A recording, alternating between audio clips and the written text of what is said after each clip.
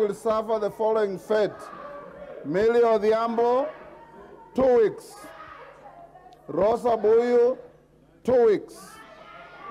Fatuma Muyanzi, five days. Catherine Omanyo, five days. Joyce Kamene, two sittings. TJ Kajwang, two weeks.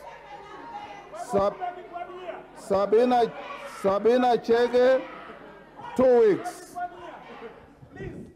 Sergeant, can you have those members out of the chamber?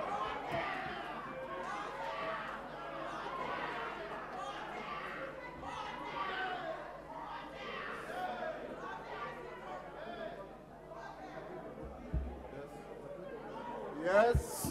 What's the point of order? Murugara? Thank you, thank you, thank you. Thank you very much, Mr. Speaker. Mr. Speaker, we were in the middle of debating the motion